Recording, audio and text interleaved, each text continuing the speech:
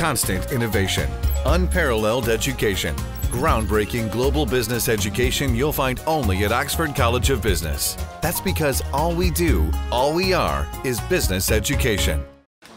පුරවැසි බලය සංවිධානයේ නියෝජිතයින් අද පෙරවරුවේ මල්වතු පාර්ශවයේ මහනායක අතිපූච්ච තිබ්බටුවාවේ ශ්‍රී සුමංගල මහනාහිමියන් මුණ ගැසෙමින් උන්වහන්සේ ව්‍යවස්ථා ප්‍රතිසංස්කරණ සම්බන්ධයෙන් දරන ස්ථාවරය ඇගීමට ලක් කළා. එහිදී ව්‍යවස්ථාව සම්බන්ධයෙන් පැන නැගී ඇති ගැටලු සම්බන්ධ ග්‍රන්ථයක්ද මහනාහිමියන් වෙත පිළිගන්වනු ලැබුවා.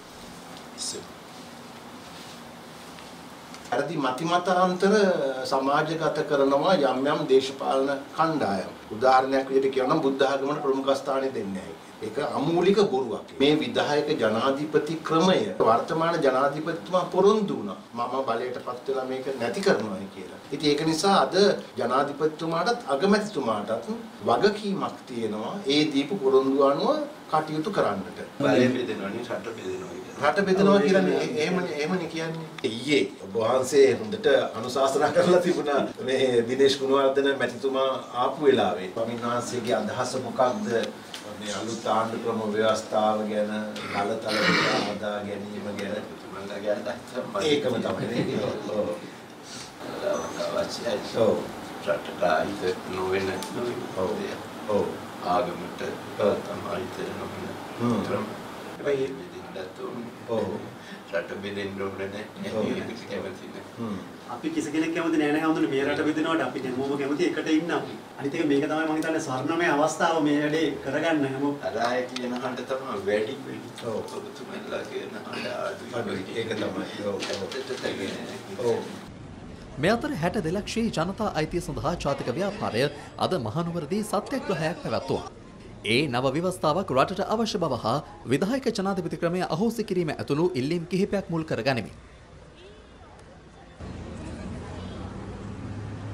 මේ අතර මල්වතු මහනායක හිමියන් විසින් ව්‍යවස්ථා ප්‍රතිසංස්කරණය සම්බන්ධයෙන් දරන ස්ථාවරය පිළිබඳව අද පැවති මාධ්‍ය හමු කිහිපයකට එක් වූ භික්ෂුන් වහන්සේ අදහස් පළ කර සිටියා.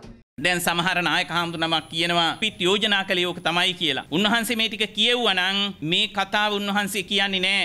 මතු පිටින් පෙනෙන කාරණා දිහා හෝ කවුරුන් හෝ Taman ළඟට ඇවිල්ලා කියන කාරණා දිහා ඒවාට අවධානය යොමු නොකොට හරියාකාරව තේරුම් අරගෙන ප්‍රකාශ නිකුත් කරන්න කියන මේ ආයාචනයත් ඒ මහානායක හාමුදුරන්ගෙන් කරනවා අපි. මමත් මල්ලතු පාර්ශවයේ හාමුදුරුවන් වහන්සේ නම. දෙපා නැමද අපි මහනායක හාමුදුරන්ගෙන් ඉල්ලා සිටින්නේ අවබෝධයක් ඇති කරගන්න අවශ්‍ය නම් සංඝ සභාවේ ඉන්න විද්වත් හාමුදුරන් වහන්සේලා එකතු කරගෙන කිසියම් මණ්ඩලයක් පත් කරගෙන ඒ මණ්ඩලයේ අදහස් යෝජනා අරගෙන ඔබ වහන්සේ කටයුතු කරන්න ඔබ වහන්සේ යම්කිසි තමන්ගේ පෞද්ගලිකව දේශපාලනික වශයෙන් හෝ පුද්ගලයන් පිළිබඳව තියෙන ප්‍රසාදය මත මේ රටක අනාගතයේ පිළිබඳව මහානායක හඳුරන්නේ තීරණ ගන්න එපා කියලා අපි මහානායක හඳුරන්ට වැඳලා බොහොම ගෞරවයෙන් යුක්තව සඳහන් කරන්න මේක අපේ රට පිළිබඳව අනාගතයේ පිළිබඳව තියෙන ප්‍රශ්නයක් නිසා. මොකද ඔබ වහන්සේ කොබ්බෑ කඩුව හාමුදුරුවන්ගේ තැනට වැටුණොත් අපේ මහානායක හාමුදුරුවන්ට එහෙම වෙනවා දකින්න මම කැමති නෑ.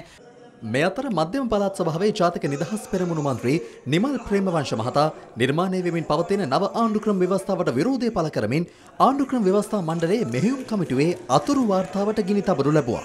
ඒ අද මධ්‍යම පළාත් සභා රැස්වීම පැවැත්වෙමින් තිබූ අතරතුරදී.